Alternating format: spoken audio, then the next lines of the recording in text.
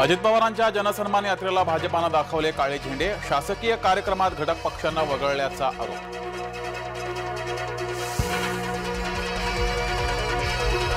राज्यातील एकशे पन्नास इच्छुकांचे जरांगेंकडे पत्र. संभाजीनगरच्या नऊ मतदारसंघातून बारा जणांचे अर्ज.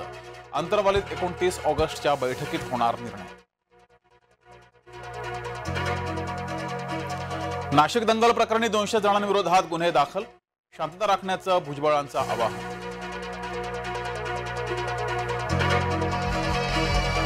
राहुल गांधींच्या मुंबईतील सभेबाबत प्रश्नचिन्ह वाहतूक कोंडीचे कारण देत वाहतूक पोलिसांनी नाकारली परवानगी. पुणे सत्र न्यायालयाच्या निर्णयाविरोधात अपील करा डॉक्टर दाभोळकर खून प्रकरणी कुटुंबियांची सीबीआयकडे मागणी. रेल्वेच्या तिन्ही मार्गावर मेगा ब्लॉक प्रवाशांनी वेळापत्रक पाहून बाहेर पडा.